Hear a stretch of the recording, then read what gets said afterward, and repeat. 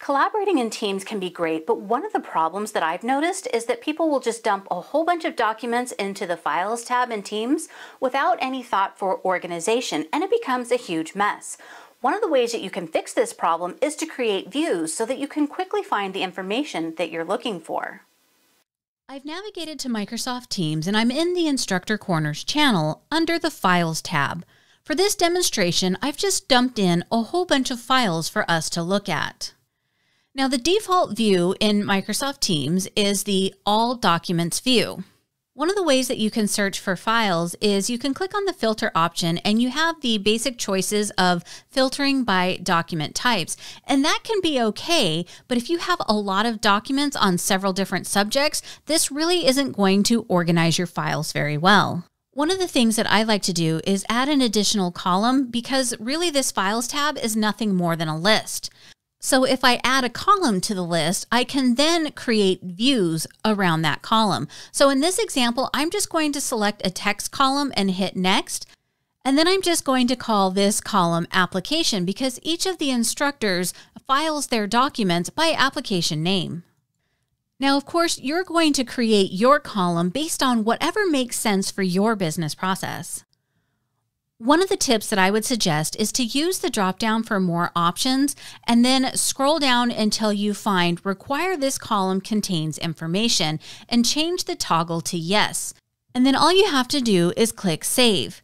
Now, chances are you already have files in your Files tab, so a yellow warning box is going to pop up letting you know that this is now a required field. If you click on the warning, you can open up the dialog box and type in the application name. But let's be real here. If you're like me and you had a bunch of files, you're not going to want to go through and do these one by one. So, what I would suggest as a tip is to clean up your files by going into Edit in Grid View it's much easier to type all of the information here in the edit and grid view. And if you have duplicating pieces of information, you can drag and drop that down so that you save on how much time you have to type. With the fake data updated, it's now time to use the filter under application name to create our views. So first I'm going to click filter by and select any of these applications. Let's say Teams. And then I will click apply. Now all I see are files that are associated with Teams. Now go up to the top of the screen and click the drop down next to All Documents, and then click Save View As. When I do that, I can update the name from All Documents and call it Teams. I'm going to leave this as a public view so everyone on this team can use this filter. And then from there, click on Save. Notice that at the top of the screen, the filter is now set to Teams, but all documents still exists. So the default is still all documents, but I can use the Teams filter if I need to.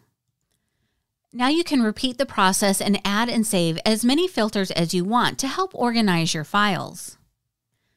Now let's say you need to add new files to the Files tab. You can still drag and drop your files just like you did before, but now there will be a yellow warning to remind all team members to fill in the application column. If someone forgets or they just don't do it, you can go to All Documents and filter by Files that need attention to quickly identify those that need to be cleaned up so that your filters will continue to work as intended.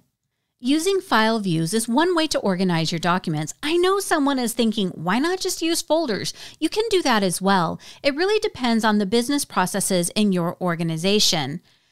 Hopefully, this quick tip just gives you additional ideas. Thank you for watching, and I'll see you in the next video.